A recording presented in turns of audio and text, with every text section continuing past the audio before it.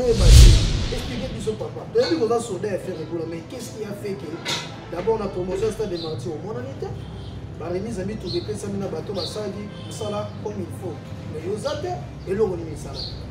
celui qui ne de, dénonce pas c'est un complice euh, elekelaka nga te so basombeli leki na nga berso onga mpe nalikaka na berso leki na nga berso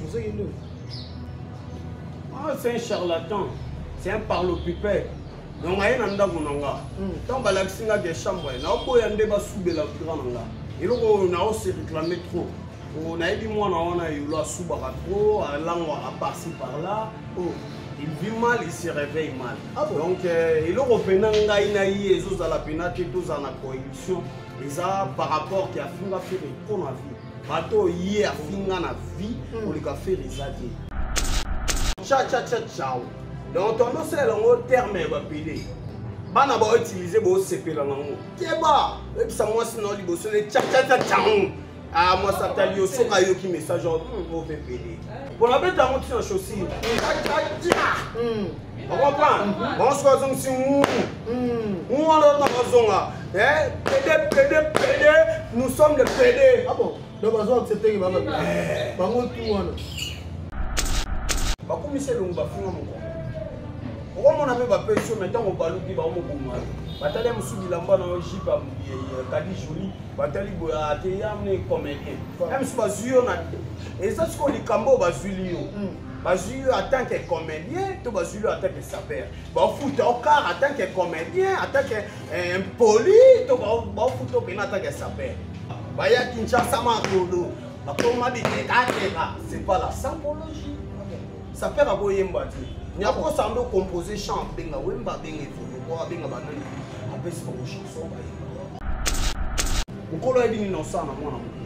donc nakozala te shoshoso mpona bapesi leki na ngai berso moi je l'appelle berso mpo eza eh, donc eh, nkombo na ye mpo eyebana mpo ayaki na ndako azalaki na bandako ebele azalaki na bandako ebele akoki osala nkombo te ntango aye na ndako na nga en tant que bagolois nous sommes nombreux mm. les gladiateurs nous sommes nombreux les bataringe nous sommes nombreux nde batali ye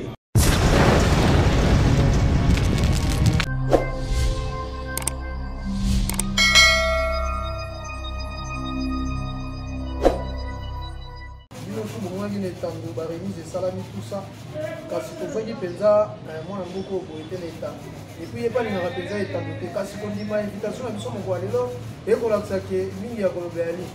mingi baya kotala biso tozali vraiment na mateso ya bana oyo toza na ye atake saker lisusu topesi mbote mateso ya bana nga alingaka bato balata mer kaka balabala kote kino susu ojana lelo naza vraiment bien accueilli esika na yo mateso ya bana ye lokaka nebe mpinga makambo papa ya bagolois les bataring de la sable union sacrée de la sable nos mêmes rêves avec chef de l'état chef de l'état na kati ya ya mbeto ya monene nga na kati ya toko noti ndoto moko yaki na gouvernement nga alaki na la sable alesaka na ye motuna eza ya bino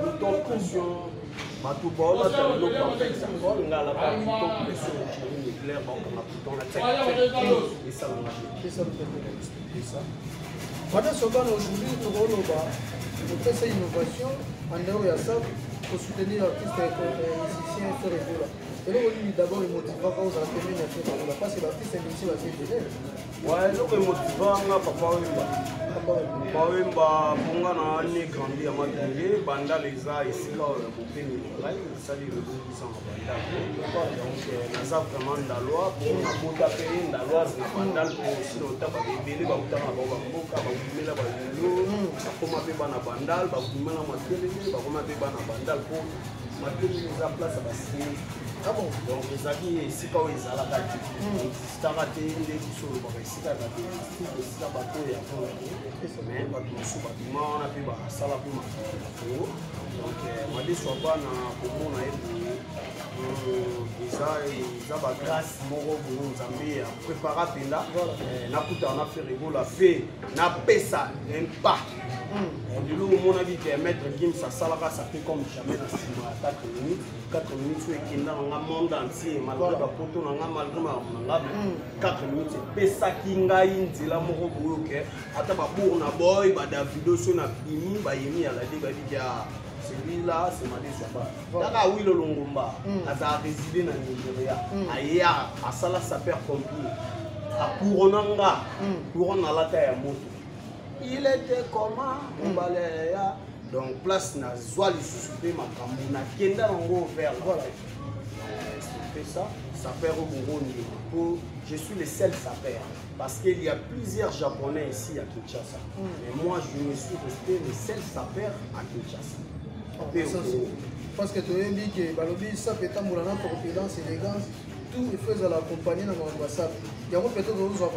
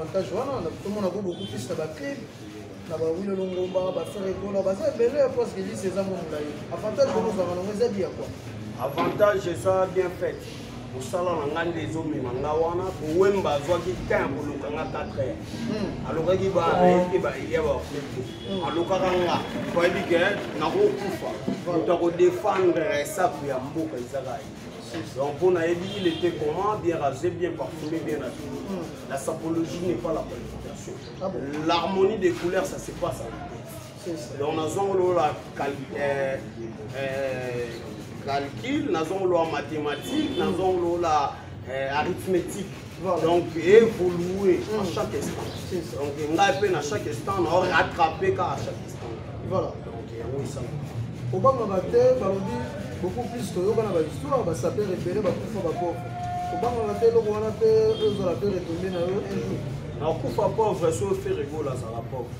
ah bon nakufa pauvre soki barelation na bwaka bajunior malaisa baocéan dialo bape na nga chapo bazalaka eh, mokolo etando hmm. mpe chapo hmm.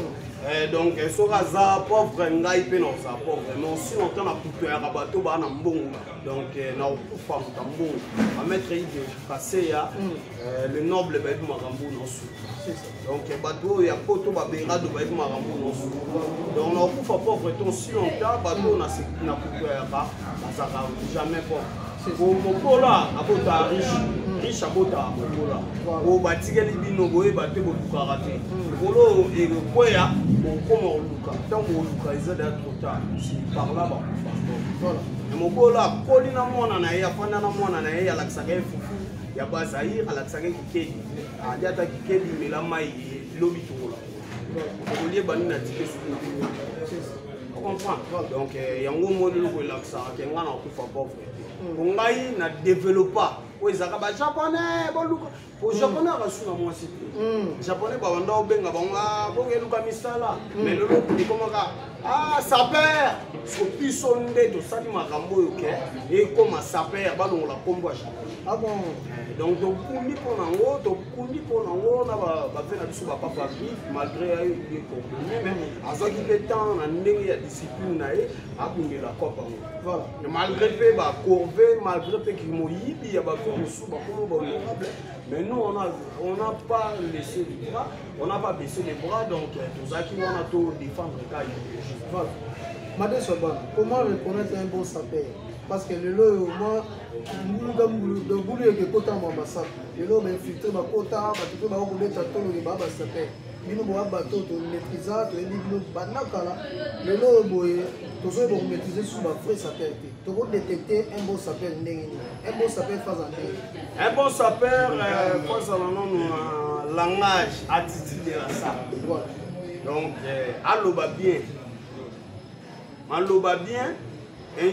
sans injure mm. hein, il y a des crèches dedans voilà. oh, toza na badiversaire ba ya bilamba mm. oh, elamba endimaka motu te mm. nga nafutelaka su te nakoma na nga na bapartement baflat po mokolo mpongo mpo akolula mm. ndako ezalaka 60 amati sango 80 mpo amoni chaussure na ye eza 250 dollars donc esali ye mpasi atala lokolo nobisa songans mbati na yo eza da bambongo garanti donc euh, aoyokaka likunia ye nde akobengelo bakabakaba banani bakotino na ndako batuna mpe eh, po acomprendre ke hmm, garderobe mpe ngai hmm. na le sel saper na bomba bilamba na susi ate nakotisa na mbata nakotisa ngo oh. na district mpe na nga commanda fataki ayebi makambo oyo hmm. eh, adjoint ya carl lewis ayebi makambo oyo hmm. donc nga bilamba nanga ebombama na susi atio elekeli nga na kotisango na kankokolo na tiango na vente aux achères na ndenge ya basoda oyo mpena lwa bave na biso bagénéral euh, général na biso ya kisasa kasongo silvano kasongo kesali donc oya mpe ya place moko boye okutani boye bachaussette no bake nango parade ozalaka na motema ya kosigne kaka ozela mbila zonga parade oyebisa ye mokonzi me respect okauka mpe lowa mbila me respect chaussette oyo eza ya tenu te eza ya piese alongoli bachaussette merci beaucoup là c'est madesu ya bana balobi tokokende yango malembe okoprendre ke toza vraiment na spécial émission oyo tozosola mpena carrière na ye d'abordsasango lelo boye kotakunaka ezali mpe na biso boyekoza mpe pour ne pas dire que non awuta likolo akoya lokola kake parce que lelo basape yango toza komaîtrise te mwana aza na mwa chaussette moko ya bien bapesaki akomi pesa mpe tandis que fo carrière ezala molai kolata nini ti mbula molili esila lelo boye madeso abana na guerre ezokende mwa mingi mpo makambo yango polémique ezokotaka trop tokota yango na monde ya musical lelo oyo toyebi yo mingi pembeni ya nika boloni na fer egola mais tocomprendre ke bainfiltre mpe bakoti qu'est ce qui a fait ke lelo tosentir mpenza ndeti mwa négligence eza epai na yo pembeni ya fer egola di ya quoi parce que bato ebele yango motuna bazeli mpenza bazwa explication ya makambo negligence eza bato baokanisaka eza negligence nakoli naza yaya nga na goloa te nga ka batarine ah bon eh, nakoli trop donc nalongwe goloa nakomi batarine hmm. batarine eza poste non tozala herve fere herve gola batarine fere ye na oka hmm. par rapport ya fera biso tata mobeti apesaka ye kombo po aono mérité mais ensino ta fere egola azalaki trop na lit ya mongala ya chéri migler hmm. bouton pression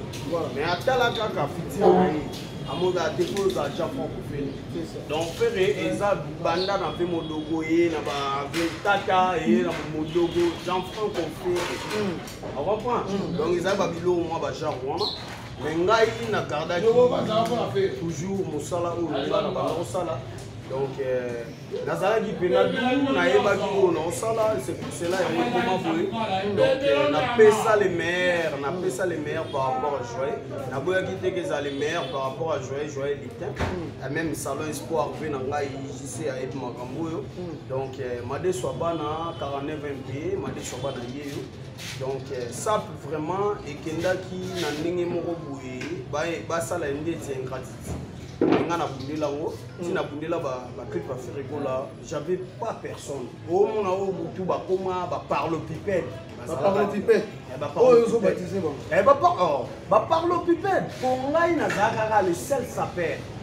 nakutaka fere kolakisa nga trois fois koma porte parole na bino nakoma te osuna boyi nakomi porte parole nakozala na mwa mokonzi moko na ndenge orchestre eza na administration eza na dg eza na marketing nalingi yango te nga na saper saper mokonzi na ye eza kaka bilamba na ye sofre ekola eza coalition ezalaki coalition hmm. via bisinga ya bi non ekisanga ndenge bokendaka batie vo wana justement naza na mposa nkombo na nga mpe ezala na kati ya bato wana ah na kutu aye bilamba na ye na aphtpekani ah, ah, mpe hmm. eza bilamba sur mesure hmm. ebele bakumisa papa chéri ntango bapesango bilamba bakata eh, na taille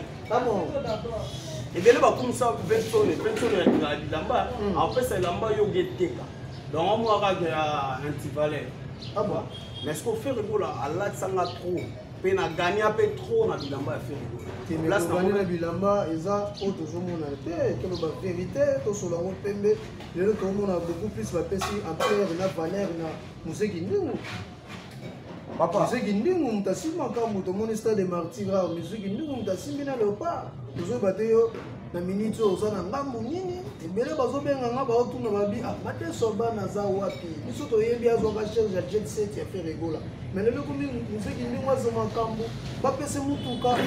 tozoyeba te explike biso papa toyebi koza soda ya feregola mais qu'est ce qui a fait que D'abord na promotion ya stade de martyr omonani te baremise ya mituka epesami na bato basalaki mosala comme il faut mais yoza te eloko nini esalaki celui qui ne de, dénonce pas c'est un complice donc euh, lidofolo ate eleki monene ekweisaka pantono te bakochange na bango euh, caleson mais système te ah bon ozo comprendre mm. donc ngai madeswa bana euh, elekelaka nga te so basombeli leki na nga berso po nga mpe nalekaka na berso basomeli leki na yo eh, leki na nga bien sûr ozeki nde ah, c'est un charlatan c'est un parlopipere donc aye na ndako na nga ntango hmm. balakisi nga ke chambre naoboya nde basubela grand na nga eloko oyo naose réclame trop oh, nayebi mwana wana yolo asubaka trop alangwaka parci par là oh. il vit mal il se réveille mal ah bon? donc euh, eloko mpena ngai na ye ezozala mpena te tozala na coalition eza par rapport ke afinga fere trop na vie bato oyo ye afinga na vie hmm. koleka fere eza te hmm. pardon eza kobosanapardon eh, eza kobosana te prefere moto apesi ye kaka wana te ah eza producteur ah producteur atali kaka moto atioko atikali na couche moko oh. moto ya tioko po muse bino boyeba ye muse asali bapublicité asala mpe na bapublicité ambi ambi mpo na tioko ariska vi na ye mwana bato oh. aza héritier ya cimetière taka héritier ya cimetière batikana na tome moko père na ye père son ame papa pwapwa bazalaka na bandeko ebele bakufa batikela ye moko espace na bino espace na bino eh ya cimetière mm. ya lopango te mm. ya cimetière espace na ye donc il est mort vivant mort vivant donc ngai leki na ngai wana nabangaka ye te mais na respectaka ye efo bangaka kri na ye wana cacacaca o ekangi lelo bosi bagénérie mosusu ekoya ngai napesaki ah, nakangaki makolo te na oh. maternité aviva nafungolaka makolo po abima ah. malgré na bamalformation na ye mais justement abima ah bon ti abimi abaluki abaluki nyoka nyoka akei ti na bampiaka na be azongi boye jibe mpia na ye aye aye aye kosekutu aye lopango na ngai mais justement fale bazala na langage ya kosali ya kopesa mokolo ata bonjour justement bonjour papa tokomi awa nde basaka na filme amokeba tokomi awa mm. prege na mokeba mm. tokomi awa mm. mais esko asali kokomi awa di azwaka carrosserie c'est pour cela na osali carrosserie donc eh, po aza mwana moko boye aleki maza impoli mais na nano ba image mosusu ya kala oneko defendaka chachachacha yango olobaka ndenge ezalaka kri na ye chachacha eza whatsapp application whatsapp so whatsapp whatsapp omoi whatsapp so tootindana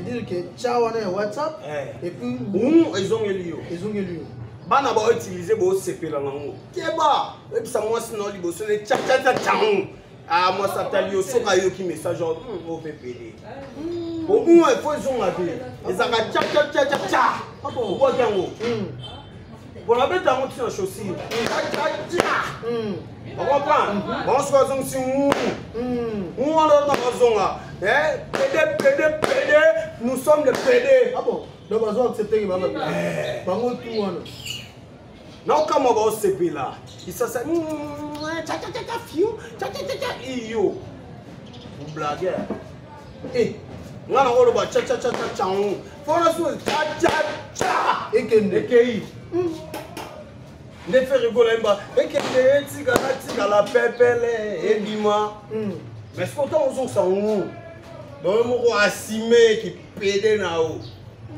on comprend donc bapeti bozwaki na bino mais koko amboka ye eze moliso ya banzambe ya bilamba mandela de la sap na bunda mpo na komba o lelo japon akoma sapere donc eza nango baterme me babongisa yango komona mwana bapesi ye eh, trottoir to bapesi ye prothèse to bapesi ye eloko moko boye nalobaka telema olia soso mm. ntango babotaka bebe eza na badiscipline bapesaka ye estce omona mwana de eza babeti ye koko babetaka ye te mm. justement babersaka ye mwasi asika soki aye bolingo bayambaka ye na ji na bombo na nsima balakisaki nzela pampe mais eza na belge mpe elobi mwana moke abetaka mpe mbonda peut-être eyoki mokolo bini mbonda oyo ya kobeta mpo mokolo nde asalaki mbonda Jamais moko oyeba ba son mbunda oyo. Ah, oyo nino abeta tempo. Eh, Chafros. Eh, Aulu. Eh, Aimé na mbunda. Non. Faut balebisa ye ke oyo mbunda obeta eza ya makini ma David. On comprend? Mm. Oyo mbunda ali mbunda. Oyo mbunda Aimé na mbunda. Mm. Oyo mbunda mbunda ya Aulu na mbunda. On comprend? Donc euh, Un bébé au dos ne sait pas que la route est longue. Ye azaka wana minimum. Mwana oso mini ya est-ce que oyeba ke nzela boke ya musika. Azaka papa mini moi chiti moi les bonbons. Maman on so la jambe ebi. Jambe mon konza ebi maman so. Donc euh, to umela kopo. To umela kopo. Mais ça dépend ça. sans te flatter sans te mentir en tout cas na bato oyo tu baolanda biso ntango bamoni yo lelo na etando babi ah badeso donc bato tu baotala 4 minutes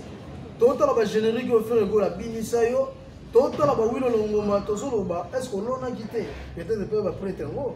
mpo lelo yayaka na mwa minute ya moke bazwa mpe bende papa na matadi babenga bato ya courte joie basukaka na bafulu eza bisengo ya moke eza lelo nalobi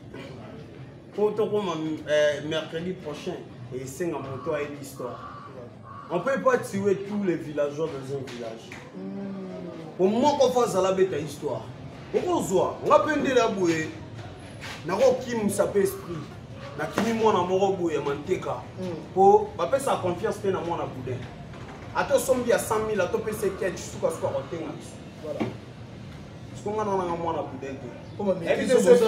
epuis nini mpo ato sentir regret regret eza te atuka koto wana vraimen félicitation regret na osala regret nde nini fera pesi na ye te ya producteur eza bagout na bashoi na ye mpe nanga mpo le mutu napesi ye mbote beka napesi yo mbote po omoni bakumisi elongo bafinga mokongo okomona mpe bapesi yo me ntango obaluki baomoboma yo batali ya mosusu bilamba na yo jipe kadi joli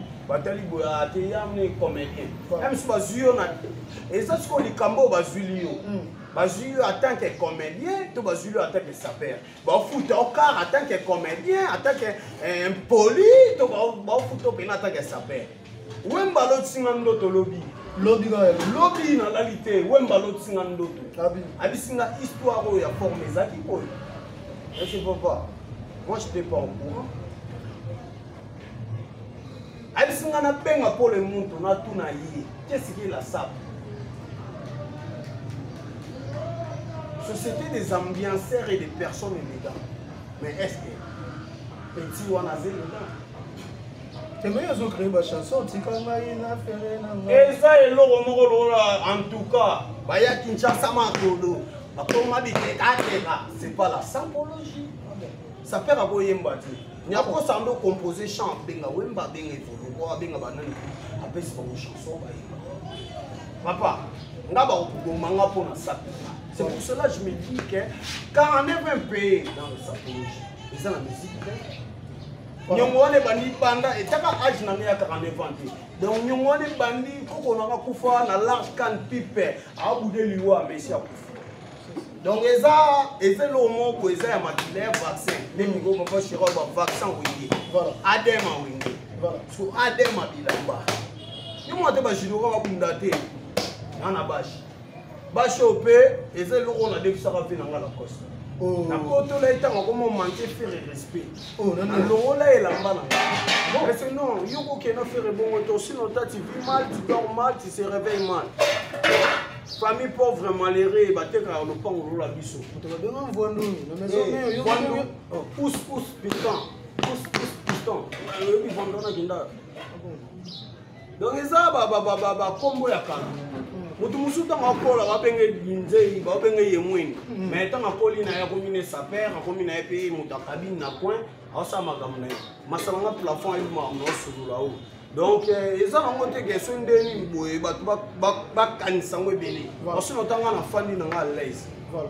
mokolo ayebi nini osala na mwana moke mwana moke ata atelemi amonaka mosika te koleka mokolo po mokolo esika to alekaka koyeba nini natiki esuki na fufu te ye akozwa camion me nga naza eliko hmm. baosomekaka donc nakozala te shoshoso mpona bapesi leki na ngai berceau moi je l'appelle berceau mpo eza eh, donc eh, kombo na ye mpo eyebana mpo ayaki na ndako azalaki na bandako ebele azalaki na bandako ebele akoki kosala kombo te ntango aye na ndako na nga en tant que bagolois nous sommes nombreux mm. les gladiateurs nous sommes nombreux les bataringe nous sommes nombreux nde batali ye bapesi ye itinéraire tala lelo nde akomi okoloba nini mpo na wata wata lelo mpe azoseskize tout ça ondere kaka aosamaka mibale mibale okoloba neti nini ata obeta stade frankimanti mosusu epuis tozosantir ke non aza décisif okoloba neti nini te mpuku akufaka na biloko kozongela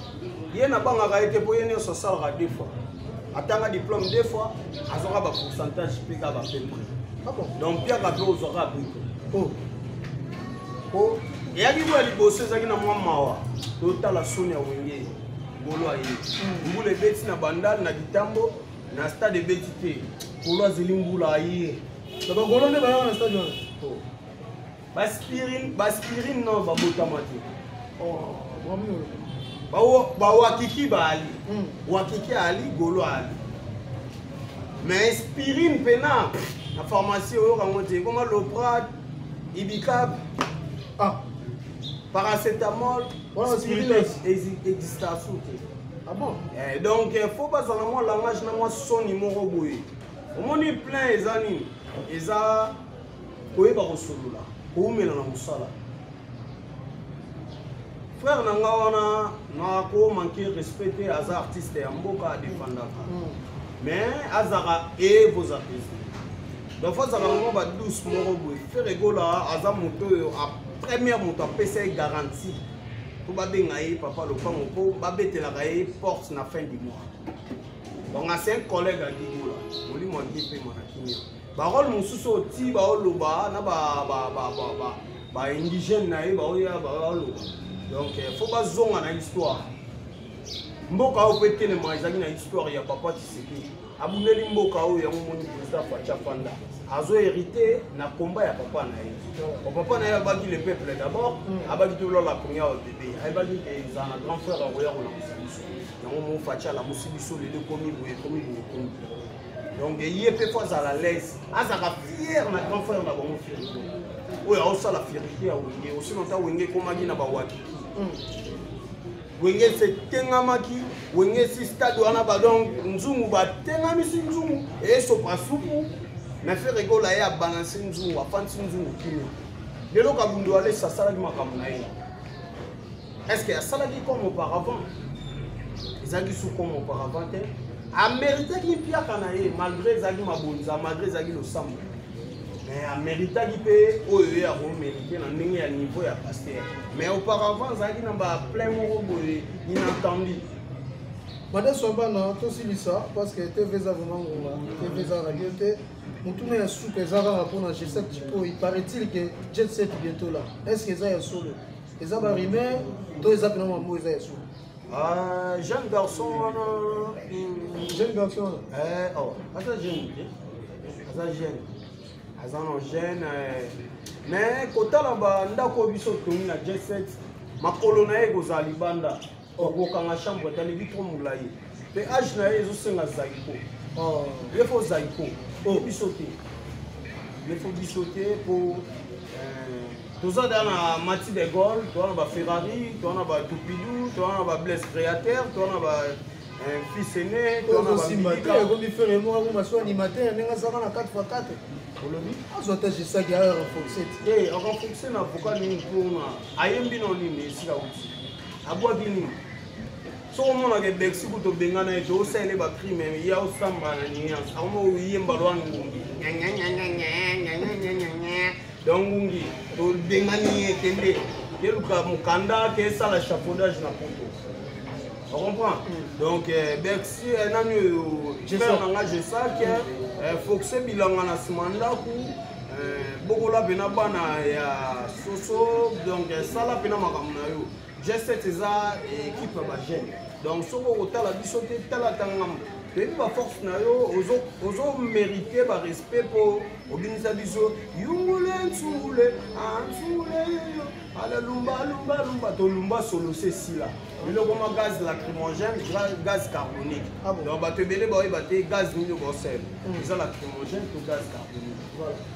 donc veo euh, azoki kolobaka mokinza eyini boye mais mpo eh, yo oyebi ka veo donc euh, euh, jesaki mpenza nakosenga yo oza frère na biso obimisi na yo vérité bapakolaka vérité maquillage te mais obimisaki vérité olobaka kulukuaze kwatindaka yo parci parla okota bakomba oyo etali yo te mm. napekisaka yo nabengaka yo trois fois nayebaki nde esukela monde esukeli yo oza na esika otia yo te soko olingi okoma ata sécurité ya ilunga wana tokopesa mais maître jip paza obunda na jip obunda na kao koyebisa yango ozalaka makasi mais esalanga bien mpe mpe so okomi no basketer baserge baka bayaka motombodi kembe koto na bino fonse kaka osola osoli na yo oza basketeur baade koko na kati ya matonge osolola bakris koko donc bakotisa yo obetamaka basket te miziki namoni ekutwa yo te mpo otamboli mpe fort biso olingaka bato batambolaka tambolaka te esika balie soki ndoki toyebi te oya kufela na porte ya bato donc omemi ngambo nde mikolo igf eza tozolinga pena te tozolinga merci merci beaucoup made sobana tosilisi nayebi ke tokomi mpenza na suka bambote soki oyali epuis euh, eloko moko important soki ezali peut-être akopasse message na baetu bazwi te yango nango na mokolo lelo wa hmm, bato otuna kopasse message bakoloa bagladiator oyo ayebi madeso ya bana yaya ya baleki oyo ayebi madeso ya bana propriétaire du camp oyo ayebi madesu ya bana soso ya bakinois donc eh, fale ntango oloba bino mpe bokoya mpe na camion na bino ntango omoyike kuna nde nini o madesu yango batrike ye mai boa bato bwaka na balar bwaka na bachicon bwaka na baétats-unis bacakukuza banini bosi bobimisi mbongo na bino hmm. na kumba yango opeti wana na tai na ngai na ye ye fo batiele ba 6 pourcent na kati ya camion mpo ye afanda bien akumba hmm. po aza na aza akompo epa kumba okomona ye loa filme avive avive asimba na ye volant mais na se baokangele bafrein accélération activation hmm. eh, soki nini babenga yango point noir hmm. baosimbela ye ye aza kaka na volant eh, aza kaka na volant mais na se moya akoma eh, baedeki esi taka batie 6 si cousin na kiti moko po amonana na mokili bayebaka ye nde mokolo camion po elenga camion esengaka yo mokumba mm. soko mokumba yo eyaloka mwana oyo baka etika na ekola baba bato ekola bakizengi bayebi ka ekari ya ye mai moya akumba te po aza kizengi po aza malforme donc stresa donc golo oyo aoyoka mpasi madeso abana ye nimero nanga eza plus 243 ya wili mosheni ya dada mondosi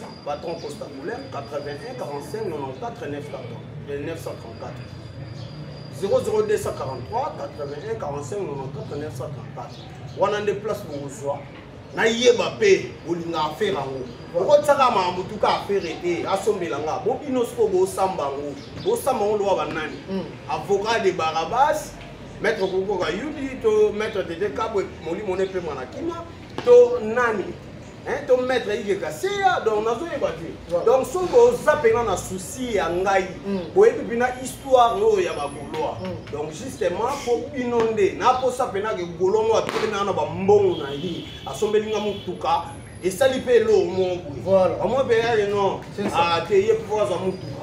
donc soki boloba ngo kaka na ndenge ya bofani na bino omeli shisha na yo mm. olie pati na yo na ndenge ya poto cafe cappuccino pojitela mm. dans 6 heures 30 Moi, je t'en parle. Voisin ya Céline Dion. Parenté na ba ba ba ba ba Will Smith ba pe na biso lui de finesse. Hmm. Place au monde à Petchon na zwa comportement lui de finesse. Pour nous que ça quand on va dans lui de finesse. Yo ko peut être kaka veste ne ya kaka na si. Ana on a théâtre mo ana théâtre de Verdi na kati na ye. Ah bon? Ya sala accepter. Asala théâtre de Verdi. Ma boke de chez nous. namona ye lwa ngalufar namona ye lwa kokodioko namona ye na bakazaka na ye lwa eh, ve na nga vie de loin namona ye lokola eh, nani o oh, papa sundiata mm. donc namonaka ye na bandenge tulwa masala nga muscador oyo oh, agania makambo na ndenge ya théâtre babobo baanse luzolo nde na kutoyaka ye donc eh, nakozalenga te mm. basolide de ferre gola mm-hmm. des rado presse des amunda ya dada ngwabana le général fils kelele héritier mobiala lastoni mbunza nakozala ingrat te lisusu na chiko mabele mame blachette kiala les amoureux de kier en paris eh, famille na biso mm. eleki oyo baza na mboka na ebele famille ondima bozwa de championi emile ondima fweni euh, dès chibambe femme d'affaires mm. mère atisenga azala kuzi donc euh, okorate okorate sani me bapesi yo fufu ata na likasa yo nokolia po moto mosusu na feti bapesi ye sani me fo azela mm. me baotieleka likemba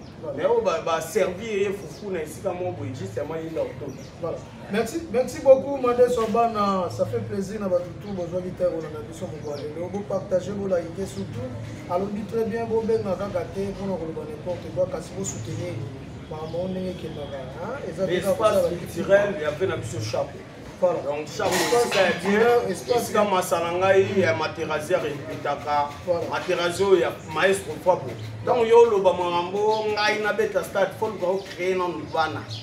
mpo bana nde bana mpe bakozala na 10 10 moko bo batindeli yo sino malaisaki makambo ofilo bikoma na osula donc bayebi makambo na osula mpuku akufa na biloko ya kozongela soki yo doko diplôme otangaka de fois mais ona pourcentage moko bongo stade po toyembelema mpitaka tolemba ngo te tomonaka mpitaka merci beaucoup la sema de sabana soki tobi totika ye ata ti tongo tokotalisa parce que ye bargima kolobelana bato na bino tu bozalaki wana bopartage bolaike video en tout cas tokosanga te te kosukana bino mpe na baémission kaka ndenge bosengaka biso mpe tozalana mpo na soutien na bino